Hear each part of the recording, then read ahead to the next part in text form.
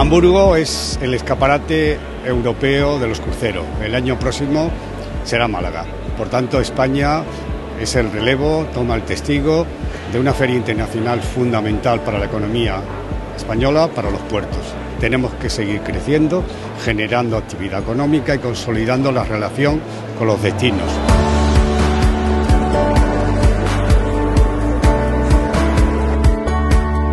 Por tanto, hay que abrir vías de, de, diálogo para que el aumento de pasajeros que este año puede llegar a 11 millones de cruceristas en los puertos españoles se consolide.